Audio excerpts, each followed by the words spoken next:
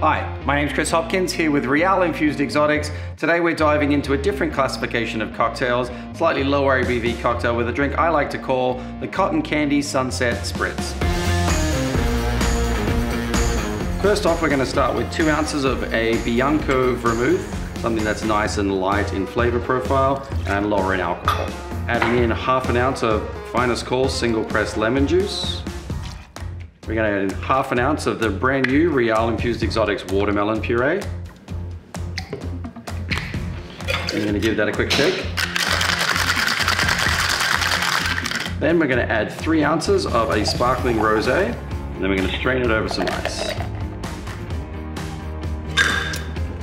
To garnish, we're gonna finish that off with a beautiful fresh orange slice, and there we have it. Delightful cocktail, a low ABV drink to have any time of day, the Cotton Candy Sunset Spritz.